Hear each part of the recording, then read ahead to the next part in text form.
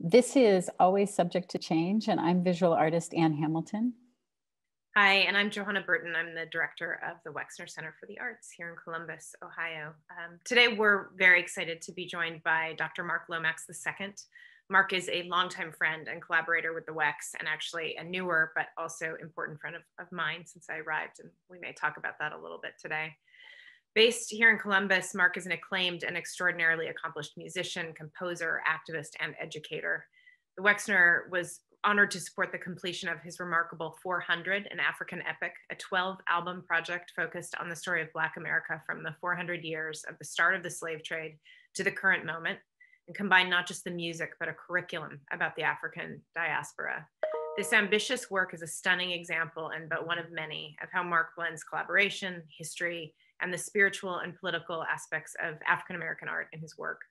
I'm eager to talk with Mark today, not just about his work, but the work of the artists um, and, and his, himself in our present day, the responsiveness, the engagement, and the questions we can use art to not just ask, but to use as a tool to hold us accountable.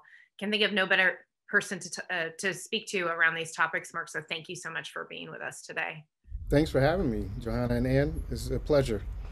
So the way we like to kick this off really is we kind of want to hear what you're thinking about. I mean, I right before this call spent some more time um, looking at the documentary, um, which we can talk about today, and thinking how how little has changed and how much has changed since I met you and and you were working on those um, on those different elements of that project. Maybe we can start there um, and jump right in. Do you want to say a little bit to orient folks on, uh, on this? Um, you know who, who haven't seen or been part of uh, 400 to, to what i'm speaking about? Yeah thank you. Um, 400 Afrikan Epic is a 12 album eight and a half hour musical cycle with seven different ensembles. There's a curriculum and a documentary um, that tells the story from pre-colonial african history through the Ma'afa, which is 1619 to 2019, which is when the project was released, through 400 years into the future. Um, the, the, it, I started writing it in 2016 because um, I had just started a new job and I felt like I had not been productive as an artist. And w- there's nothing better to do than to go from a lack of productivity to like stupid productivity. and um, it really just w- was something that resonated in my consciousness. Um, three years until the quadcentennial of the first Africans, 20 and odd Negroes as they were called, um, being forcibly brought to North America as enslaved Africans. Um, the slave trade had been happening in South America and the Caribbean for about 100 years or so uh, prior to that. Um, but it was the first time officially on record that uh, those 20 Angolans came or brought to North America as, as slaves. And um, you know, to your point about a lot having changed and a lot having not changed, um, I felt like as a composer and in Columbus, the Central Ohio region, one, I think I'm the only African American composer with a doctorate degree in the region. Um, and we don't, in our culture in, in America and in the West, really hear uh, music or art about these stories in that really expansive way you know, because there's just not a lot of funding. There, there aren't very many opportunities for us to tell our stories. And I had gone through a pro- process where I was, I love Kronos Quartet. And I'm like, that's a cool name. Where did that name come from? Right. And I'm looking and it's Greco Roman uh, or Roman Greco, Greco Roman mythology, right? Uh, the Orpheus uh, uh, Chamber Orchestra, you know, all these really cool names, you know, from these groups uh, that are European or Eurocentric ensembles that get you know, their whole ethos from that history. Where were the groups or, or even the um, projects focused on African or, or African American or diasporic, you know, history and narratives, and, and you don't really see it. And so um, I had a good job at the Columbus Foundation. I wasn't really worried about whether or not I could sell a CD. Uh, so I began the process of um, doing this crazy work, and I didn't think it was going to be 12 hours of mu- uh, 12 albums of music. I thought it was going to be a symphony. Um, but as I started to sketch, it just felt like each section of the symphony was a chapter in a book. and the 12 albums represent 12 chapters in this you know epic narrative um, that says we were once fully wholly human and then we went through this 400 year process where we weren't and not because we were born less than but because legally we were socialized to be less than ourselves and um, it's now time for us to reclaim what is ours and that is our humanity and by doing that we actually help the world reclaim its humanity, which I think, you know, for later in the conversation, is really one of the most significant roles of the artist and the art that we create. Um, Mark, relative to that, I've been thinking a lot as I was um, re-listening to that, to what's online and looking at the documentary, and also remembering being at the Lincoln Theater.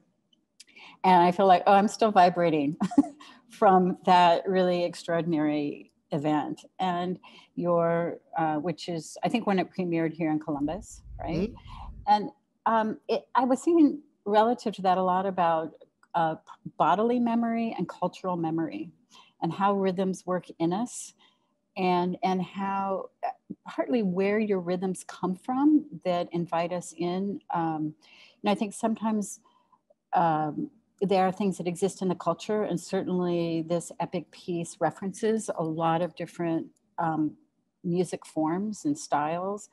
But um, I think there's also a part where there's a rhythm working in you that's like a memory you didn't know you had. It's like deeper than a, like a cultural memory, mm-hmm. like it's molecular or cellular. Um, can you talk about that relative to how you approach compose composition and think about music? Yeah, thank you. I, I call it ancestral memory. Yeah. Um, and to your point about rhythm, so as I've studied why Black America really is in the place that it is, um, from a psychological perspective, uh, from the concepts of internalized depression and so, um, surplus powerlessness, and why white America is where it is, and then everything in between, right? Those polars, those poles, so to speak. Um, I've come to learn that the institution of slavery really negatively impacted all of us and exists currently in, in a way that's really invisible unless you can see the actual code of the matrix, so to speak, right? And, and part of that is rhythm, and um, in, in a lot of ways, when we were forcibly torn from our homes on the continent of Africa, we started to get tuned to a different rhythm, right? Western military march rhythm, the duple meter, is the rhythm of the West, period. Right? All of the music, even in triple time, uh, 3 4, like Amazing Grace is in 3 4 time, um, still comes from that very strict rhythmic construct of military rhythm, march rhythms.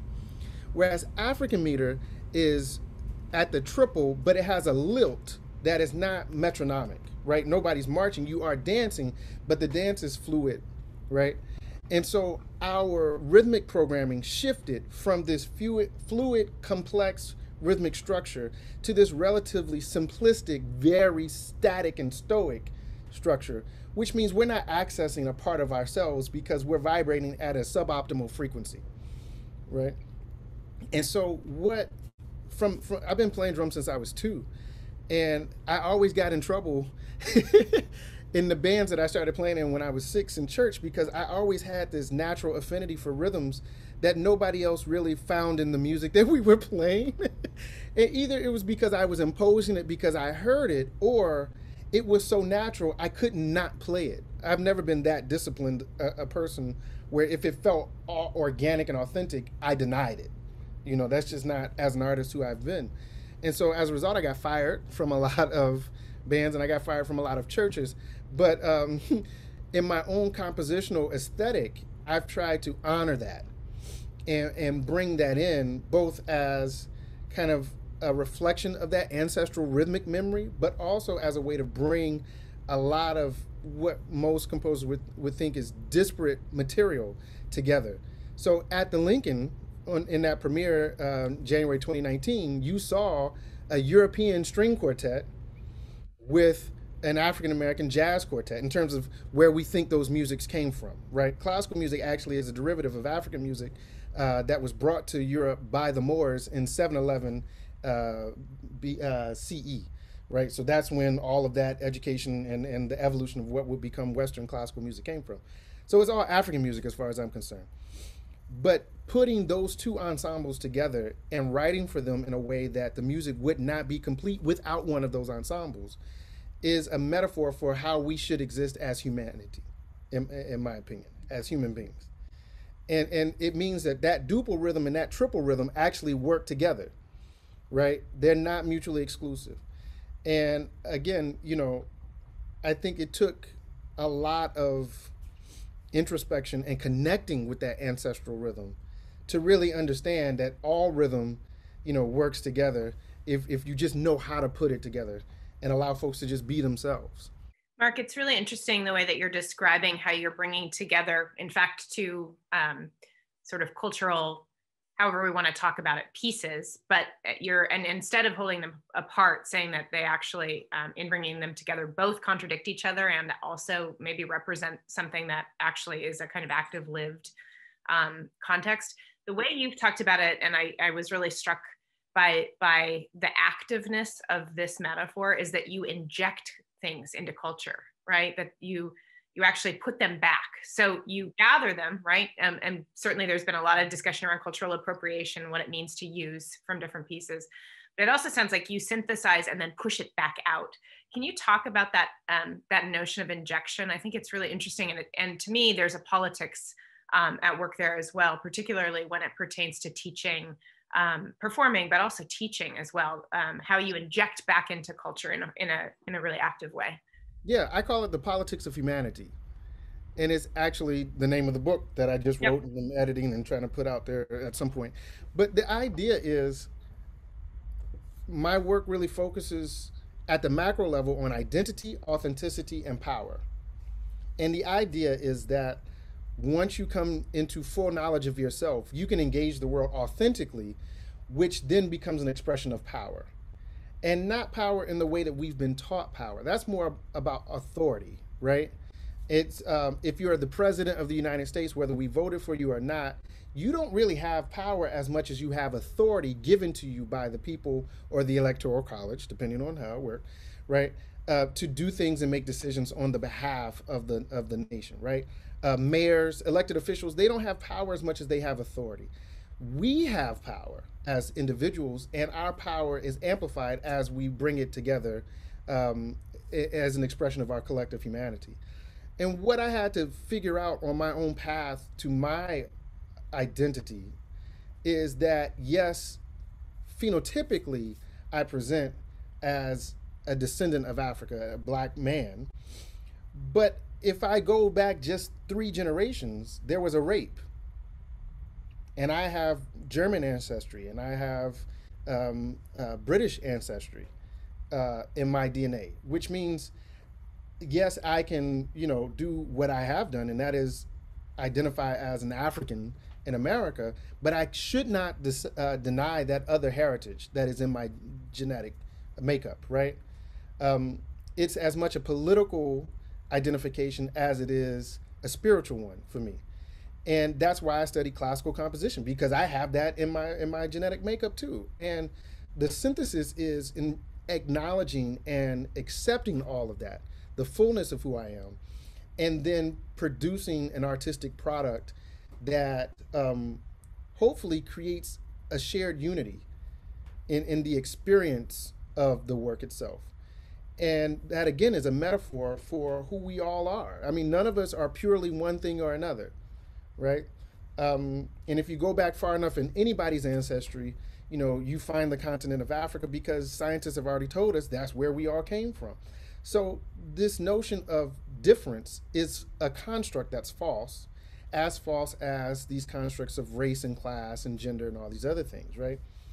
And so when you talk about injection, the idea is to synthesize this wholeness of who we are, mm-hmm.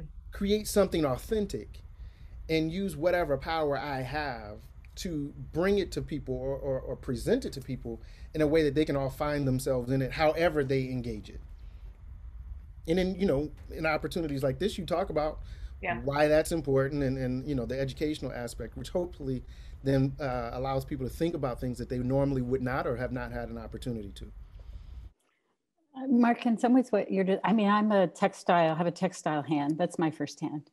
Um, and, and so when I listen to you, I think so much about you're talking about this complex weaving and that we all are made up of all these different threads mm-hmm. and histories that we are conscious of and not conscious of. And part of the injection is making them more conscious. But also, I'm thinking underlying, you know, authenticity and power is trust. Mm-hmm. And we're at a moment in the culture where trust is thin. in many yep. ways, although today yep. it feels like things are changing. Uh, and we'll see. but um, in, um, can you talk about that? Like you talk the trust of yourself, of your own history, the trust of your ensemble among yourselves, the trust of the audience, the the belief that comes from trust that really is a counterforce to fear. Yeah.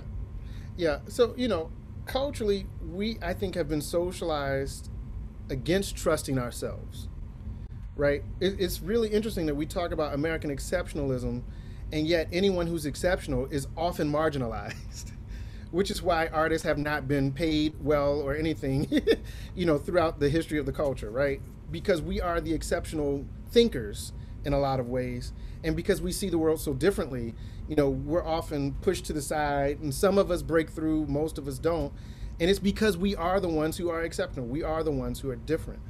Um, but even in that marginalization ostracization, the fact that we come to a point, some of us, where we can fully trust ourselves is what leads to the work, right?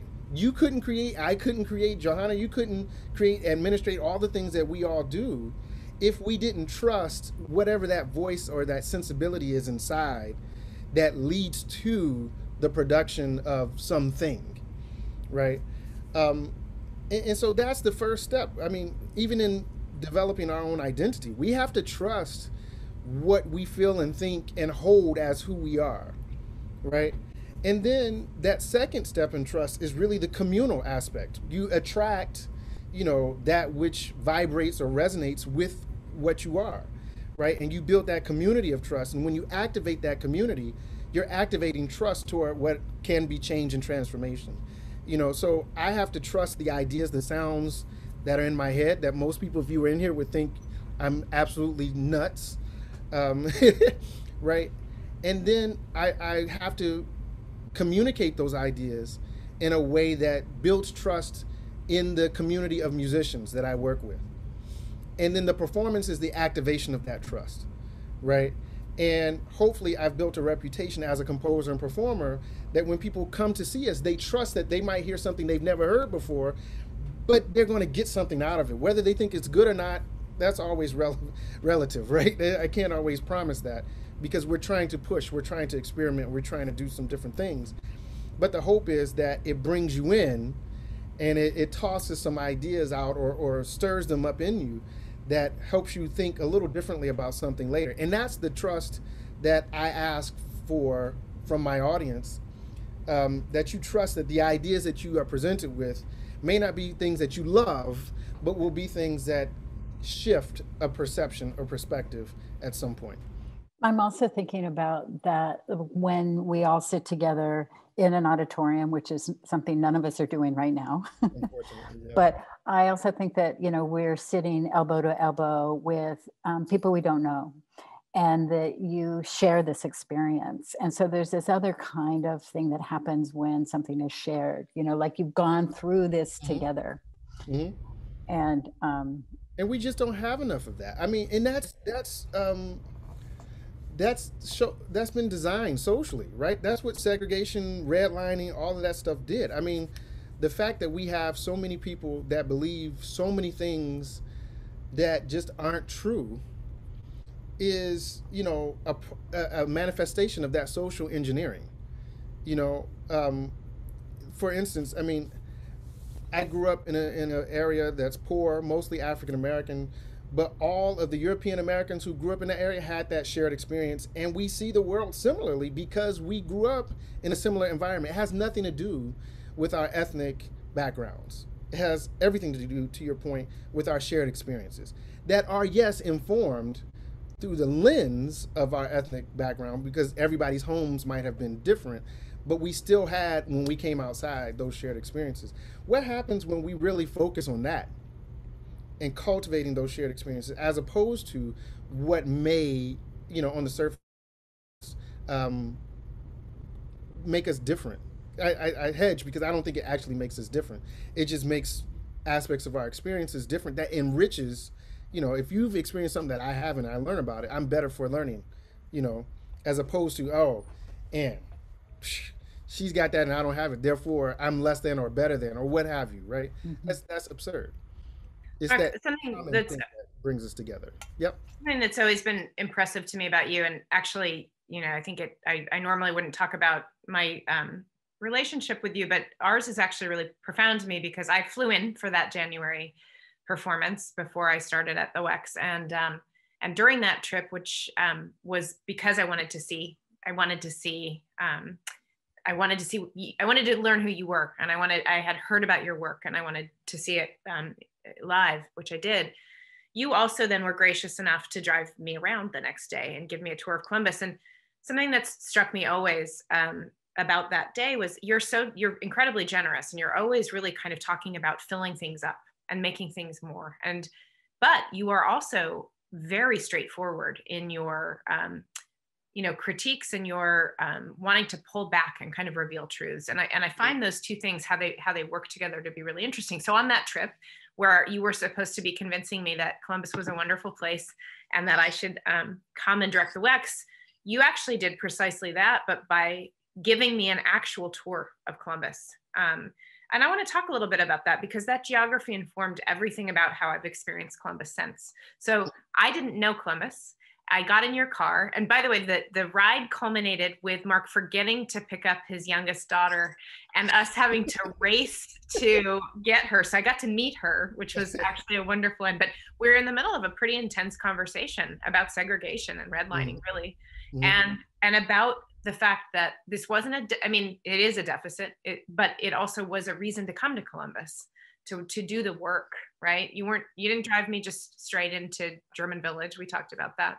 Um, but instead we really actually moved around columbus in a way that um, that showed and articulated it as a place that we understand the parameters of on a day like today. Will you just talk about that decision? Like what and and again without making it so much about that day how you manage to be so generous and generative and, and full. I think about you a lot as, as full and there's a lot of pleasure in the work. There's a lot of joy.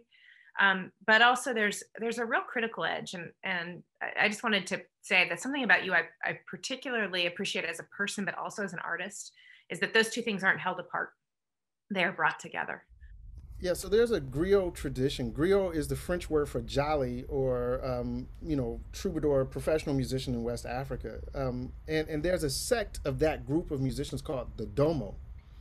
And the Domo are, are the group of elders who can only tell the truth. You know, and whether or not they use tact is up to them, but they have to speak truth.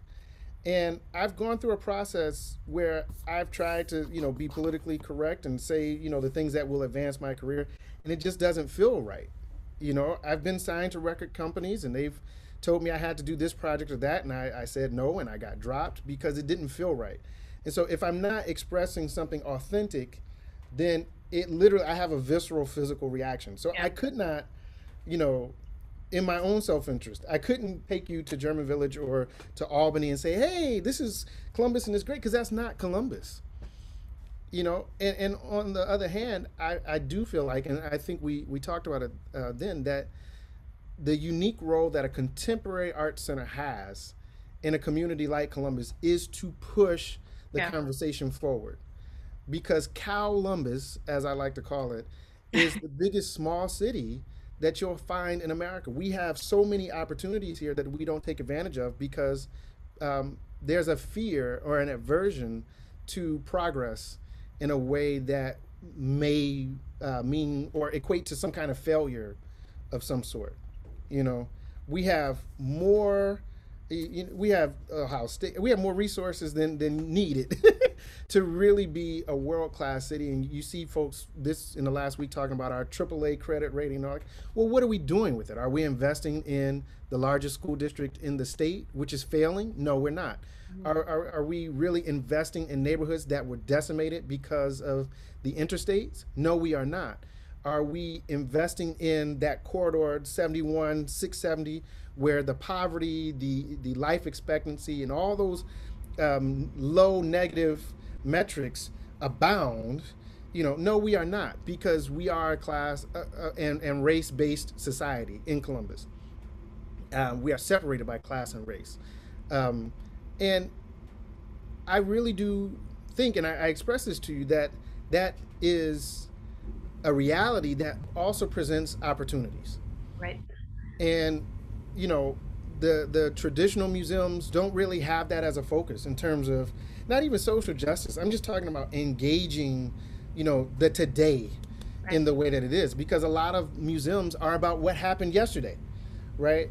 But contemporary art and contemporary art museums are supposed to be um, engaging the now and in, in some cases tomorrow, right? But you can't really deal with tomorrow unless you understand yesterday and today and I think that is um, an opportunity for the Wexner Center. And you can't do that work. You can't curate work that engages the whole city unless you see the whole city. Right. You know, and unless you understand the dynamics of the whole city. And we do a great job in Columbus of only talking about the good things, which might be a sliver. I'm not going to reject that good stuff, but there's a whole lot over here that that needs work. But we're only going to show you the shining points. And you know, there's so much more that makes the city what it is you know? Well and it seems like one of the one of your big projects is also what are the conditions for us to be together right? Because when you have shared experience that's when things begin to change. Right. And and so what are the forms for helping to create that right now? Like i have to admit um, mark when i was listening in the last couple days to some of your work i had this fantasy of a project. And i was like i want every neighborhood on their front like sidewalk or porch or whatever drumming. Right? And it's like and speaking and calling across the distance to each other. And i was like oh mark could do that. He could pull that off. That would be amazing. I mean th- the thing is we don't really have anything in this city where everyone can feel like they belong in a yeah. space right? There, there's no space like that. There's never been an event you know, even at the um, festivals in the summertime, when we had festivals in the summer, um, you know, there were some festivals that were policed more heavily than others because of who the expectation uh, was around, uh, because of the expectation of who would be at those festivals, you know. Um, and, and we have a serious issue uh, as it relates to belonging and, and a sense of community. So it would be fantastic to do some kind of, you know, citywide art thing you know, whether it's performative or, or not, to like say everyone has a voice, everyone has a role. This city is for everyone. And from here on out, you know, we're going to do that work of ensuring everyone has a voice because that's the only way we become a better city. Well, in these conversations, obviously nationally, right? Like the, they're the silver lining to what has been an incredibly difficult year is that people can't not have these conversations. The question is whether they move things forward in any real way. And mm-hmm. you know, something I wanted to talk to you about, and you brought up when we um, when we touched base last time was actually the incredible um, number of talented artists in this city and in lots of cities that somehow kind of go they they it's not that they in a funny way even need the institutions they've gone another way and they found ways to to collaborate and to produce but can you talk just a little bit? And I'm starting, I am learning the fabric of the city, partially due to friends like you and others. You know, I've, I've started really making my way into those pockets. But what's so interesting is that they exist and they flourish, but they aren't visible in the ways you're talking about. Maybe they don't have to be, but um, but but I actually would love it if you talked just a little bit about kind of on the ground um, sort of artist communities and you you never produce alone. Everything that you make is a collaborative endeavor, um, which I think is really an important part of, of the discussion as well. So I don't know. Will you just talk about the the sort of art sphere and your place in it here, um, be, beyond um, what we've what we've talked about in terms of of the work? Yeah, um, historically, there has been little to no institutional support for artists of color. So we have always had to find our spaces and create our own spaces, whether it was a little hole in a wall club like Snaps and Taps in the 90s, or um, uh, and that was downtown, almost on Washington, almost catty corner from the Columbus Museum of Art. Or what was um, that, Mark? What's Snaps and Taps? Snaps and Taps was this place where um, it was owned by oh Todd Tooney and, and his friends. Um, and Wednesday was poetry night. Huh. My band was there on Saturdays. There Wow. and we were doing. We were like the hip hop avant garde jazz musicians. We were sagging pants, you know, oversized shirts, like the hip hop culture that we were, you know, a part of. But Right. we were playing avant garde Yeah. improvised music, you know. And so we would only have two or three people in the audience, but they let us be there. You know what I mean? um, and and then there was like a reggae band on, on Fridays. There was um, some cool R and B stuff on Sundays, and we would create projects, and they would give us space every month to do these really cool experiments. You know, Scott Woods, the the uh, acclaimed local writer, and I had a group called Black Air Poets. He would write the poetry, I would write the music, and we would do concerts. You know, a few times a year, and it would be packed. I mean, it would just because it was new, it was different. The energy was cool, and it never ever, no matter how much we made, no matter how how well we put the thing together, it never elevated to the point where, you know, uh, the folks in the traditional arts infrastructure would be supportive or even want to know who we were as artists. So we just we did that and then we moved on to the next thing. You know, New Harvest in Linden was another hub for a while, and now Scott has opened Streetlight Gilding. I know you've been there a few times uh, to see what's going on there. And while now in our 40s, we we've attracted some support from you know the traditional art infrastructure. There there is no pathway for a young artist to come up through the ranks and then launch, be launched into the world from Columbus. Like if you were in Chicago, even Detroit, uh, Atlanta, LA, New York, obviously, places like that. Um, that we just don't have the infrastructure, and it doesn't matter who you are, where you're from, what what your discipline is. Um, you know, I don't know. Anne, are you from Columbus? I am. hmm But you you left for a time, I left. I left for almost 20 years. Yeah. and and you became Anne that you had always been because you weren't here, and then you were able to move back and still be you, right? Yeah. um, that's how you have to kind of be in this city.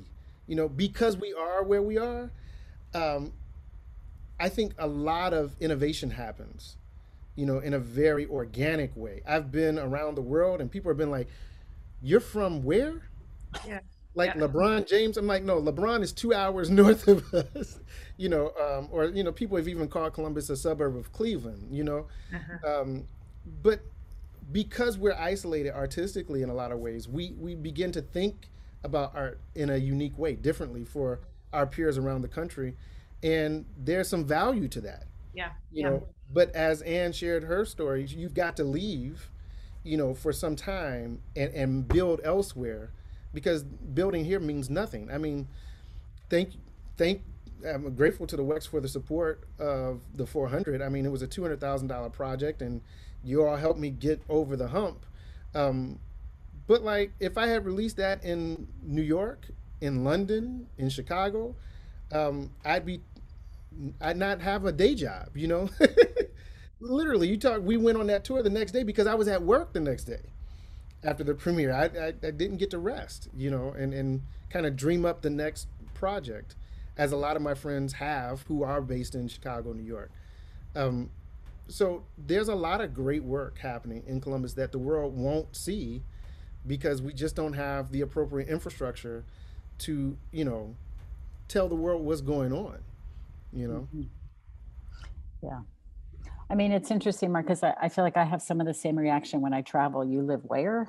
Mhm. But but I want to kind of circle back to this thing about trust because I also think that there's a part of being here that allows for a kind of spaciousness to actually let your work developed you said earlier like oh you haven't pursued certain things because it didn't feel right. Like like you have this ethical barometer that's saying this is right for me but this isn't right for me. And that that's guided the way that the work has developed.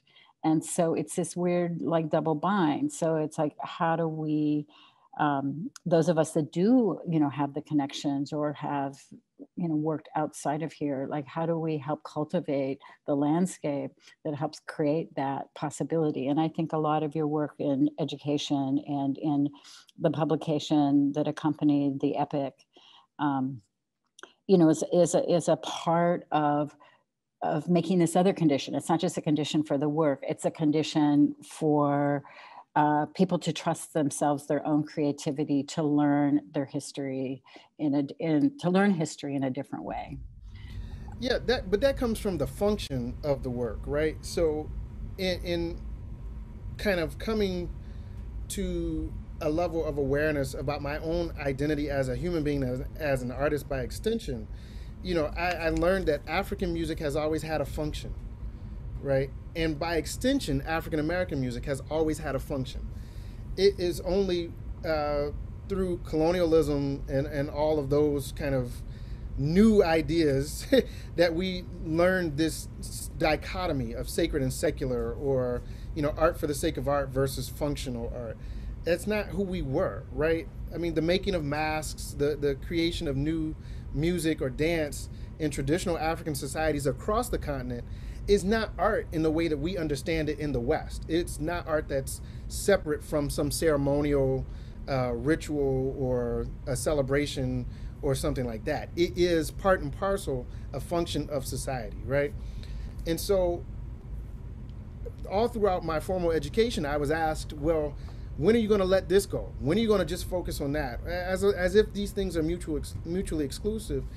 And I, I rejected that. And in a lot of ways sealed my fate because I didn't get recommendations uh, to go teach in the academy from the faculty at Ohio State where I now teach. I didn't get, you know, placements uh, in um, whatever, you know, uh, as a composer or what have you.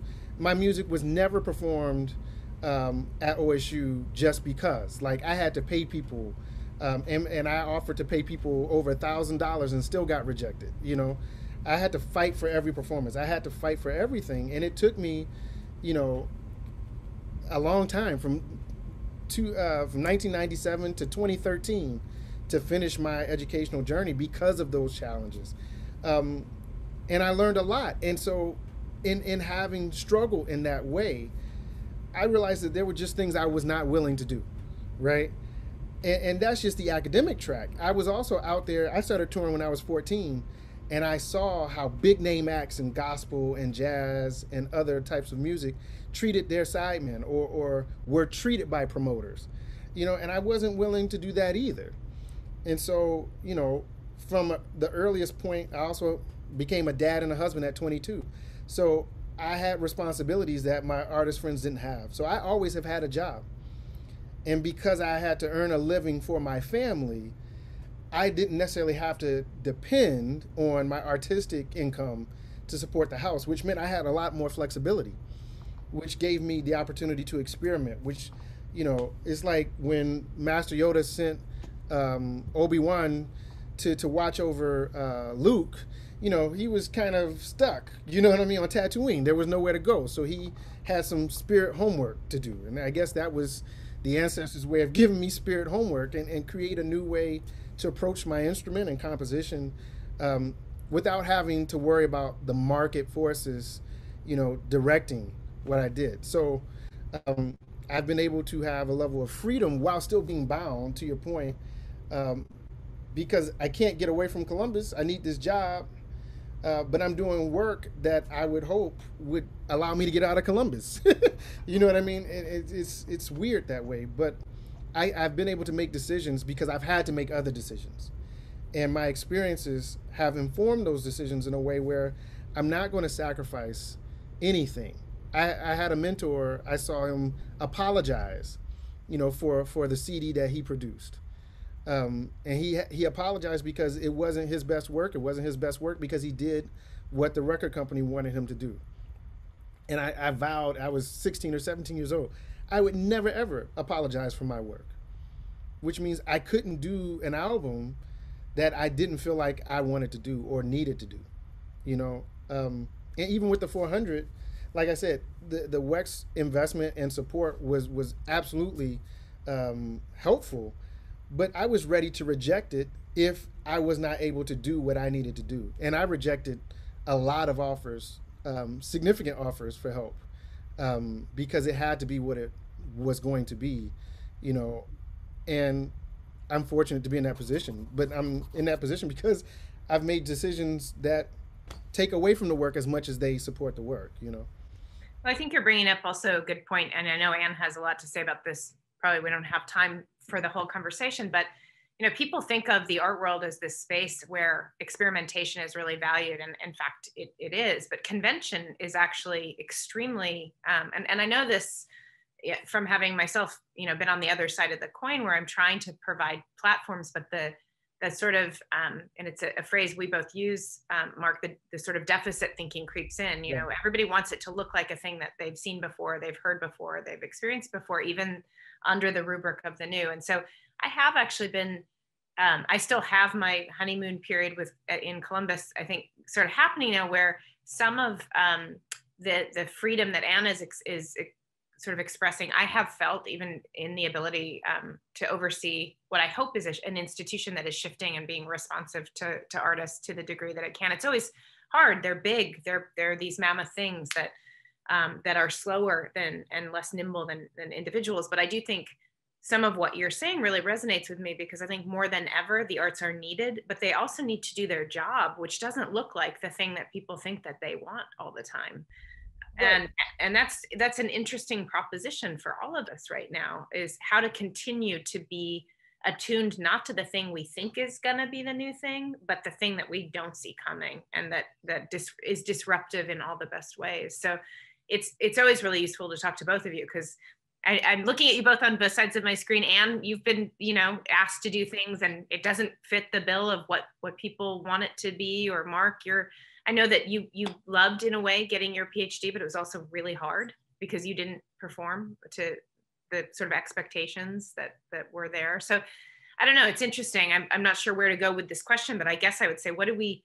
Where are we now, and and how do we move forward in a way that feels really exciting, both here and and um, sort of collectively and and as individuals? Um, you know, what what have you been doing, Mark, since the 400? Yeah.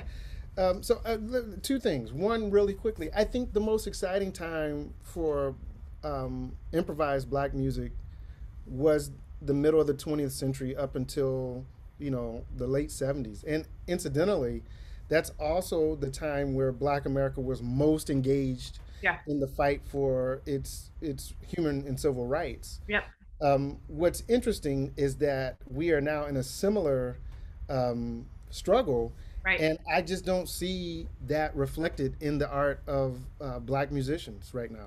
At Why any... do you think that is? say say more about that. Well, so there's two things happen. Well, a lot of things happen, but but I'm working on a thing. Uh, uh, it'll probably be a book. But he, here's my theory. Um, when we were first brought over from Africa, nobody understood the language of the drum, and we still had that uh, tool uh, in our in our belt, and that's how we organized uh, slave revolts and rebellions. Right. right. When somebody figured out that we were actually communicating real words through the various rhythms and pitches of the drum, they took that away, and it it, it, it took away a serious form of communication that could. It, it was the first text message before there was a cell phone, right? Um, and then we figured out other ways to do it and we found subversive ways to organize and rebel through the spirituals and the blues, the field hollers, you know, those early musical inventions. Um, and so black music has always been a form of rebellion. Even to sing about love and dance in the context of oppression is revolutionary. Yeah. Yeah. Right.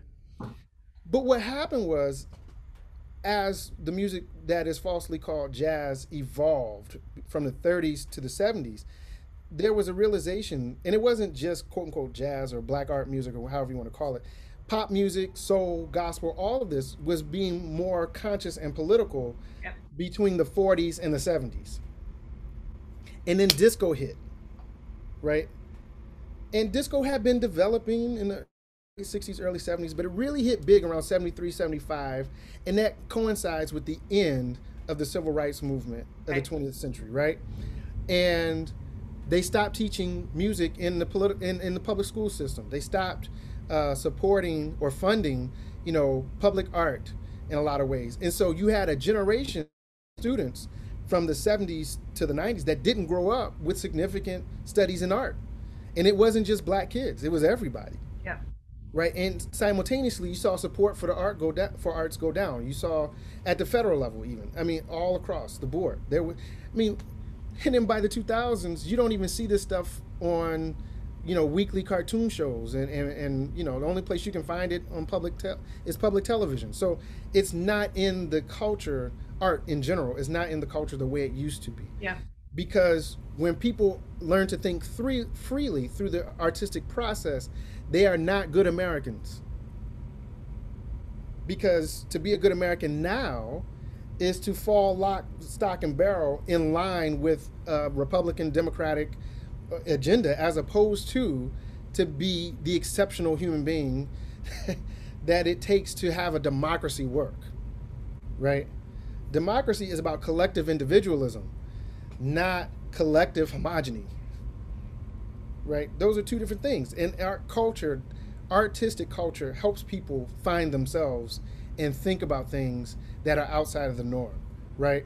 So I think a lot of the issue is that the corporatization of art happened Yeah. and now people are paid a lot of money to do dumb shit. Yeah. Yeah. And forgive me, but that's just I don't know how else to put it. You know, Can I I, quote you? I hope I hope you know we're on the same page there. yeah, Yeah. yeah. Um, so you know that that's my take on that, and, I, and I'm trying to work something formally about that because I can kind of pinpoint Yeah. places in, in American history where there was a transaction. Uh, like in 1988, it was the best year ever for hip hop releases. Ten years later, all of those independent comp- companies, record labels, were bought up by the majors, and the music shifted almost immediately. Right? That that's not happenstance Yeah. right? I, I really do think there's a political um, machination happening to make those things work, and and so you know my work even since the 400 has been around what we're calling 400 forward. Um, we were on tour and playing some of the music from the 400 and really talking about the next 400 years because my research has shown that psychologists say if you've experienced a trauma for X amount of years, it takes about that many years to Yeah. overcome the trauma from the time you start, Yeah. Yeah. right? And maybe to your point earlier, and th- today and January 20th might be that first step in starting to heal. I hope. I'm, I'm uh, uh, right? It could be, um, but it's going to take 400 years, several generations Yeah. right, to really exercise the the sins of racism, genderism, classism, all of those things that are now what really inform and, and undergird the society that we're living in. Um, but of course, all of that was interrupted by COVID. And starting in April, we uh, began to produce a weekly uh, webisode on YouTube called Drumversations. And uh, we did half of it was me playing solo drum set, and the other half was talking about you know the relevant issues of the day, um, issues like trust, power versus authority, all these kinds of things. Yep. Yep. Um, I'm working on a cello concerto, a piece for the Cavani String Quartet, and a piece inspired by the work of Aminah Robinson. That is when I can write a note. I, I've, it's been hard to compose, Yeah. you know, with everything going on. Um, it's, it's hard to work. The ideas are there. It's just the energy, you know. it's just so much, so much, you know. If you stop to think about it for too long, I mean, you just want to cry and then just be overwhelmed by all the negative energy that is in the space. But you know, Like, you know, Mark, as, as you occupy this this place and and begin these new projects, I'm really curious um, if uh, where the voice is in terms of like you know the epic was there's not a vocalist. Mm-hmm. And um, yet there's a lot of storytelling going on. And there's a lot of history. It like, do you see um, writing for the voice in a different way? Is that beginning to influence anything you're working on? Um, I think in one and something you actually was a conversation you had in conjunction with the Wexner project. Um, I think you were talking about the reconstruction project. Oh yeah, yeah, yeah. Yeah. Um, so the piece for the Cavani String Quartet is for string quartet and soprano voice. Mm-hmm. Um, I, the Reconstruction and Nadir project is my next big installment um, post 400. It's an oratorio. And I have this great big book of black orators that I'm going to put these folks in mm-hmm. conversation with each other mm-hmm. um, to tell the story of Reconstruction and then the, the Nadir um, which is the worst time in race uh, relations yeah. post slavery. Right. Um, because even with 12 albums, eight and a half hours of music, you can't tell the whole story, you know. Um, but traditionally, in African music, the drum is a voice. Right. And, and the reason why I tune the instrument the way I do, so I can play melodies that are recognizable mm-hmm. to, to, you know non-musical ears, um, to kind of reconnect the drum as a voice not just in the, in the ensemble, but on its own. And that's why I started the Drumversations piece. Um, I released an album, uh, might have been 2017, um, called Drumversations. Uh, and, and that term, Drumversations, drum conversation, is a play on the talking drum, which is an actual instrument of West mm-hmm. Africa. Um, and the idea to the earlier conversation about rhythm is to restore the drum set or the drum as an instrument um, to its position as a member of our community, mm-hmm. right? And to use that as a voice in and of itself. Um, the literal voice is never far. My mother is a singer, my children sing.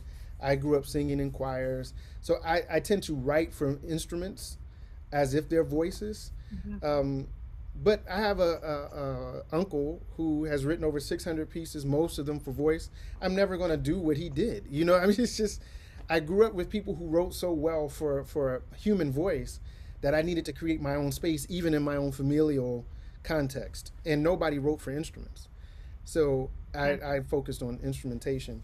Um, but a lot of the work I have on deck does now include voice. It's just also harder to work with singers for me um, because a lot of singers aren't musicians. And this is a conversation that I have with my daughter, an argument rather.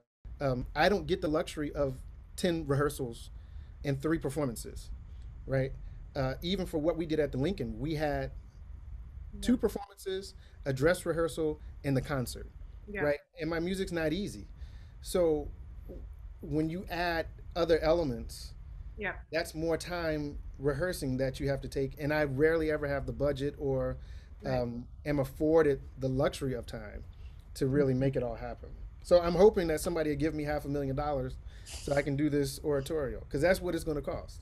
Yeah, I see that we are very quickly um, sort of coming to a close. Although we could talk to you forever, Mark, and and it's really an amazing. This was a very this was an apropos conversation for today, and and really um, thank you. So uh, you know, just in the vein of what these conversations have been, we've been basically meeting with people that we like and whose practices we really care about and hoping to just have something kind of as a generative document for these days. And this is a, a an extraordinary, um, uh, extraordinary uh, iteration of that. So uh, thank you. Is there anything else you want to, in the last three minutes that we have that we haven't talked about that you, you feel this is a good platform to bring up? Um, well, you know, I, I would just encourage folks to take this time of separation, you know, seriously, not just in terms of masking and social distancing, but in, in the work that we need to do to become better so we can create a better world for all of us. You know, yeah, there's a phrase you use. I can't oh, remember. you have to be better so you can do better. You can do better. Maybe, maybe that's the one. Yeah. Um, but it, it is true. You know, I, democracy is something that we do. It's not something that happens for us or to us. And if we don't decide to use our own agency to be a better society, then the society will never be better. You know, and hopefully that's kind of one of the fundamental messages people get from my music and and my work in general is that I trust each of us to do what we are supposed to do to make the world a better place. Well, Mark, you you helped it today, and thank you because it was very it was a moving conversation for me, and Yeah. I think Anna and I this is how we're keeping going. So you're doing us a favor. Yeah. Well, cool. Thank you so much for having me. Always Thank good to you, talk Mark. to you. Great Wonderful. to see you, Mark. Thank you.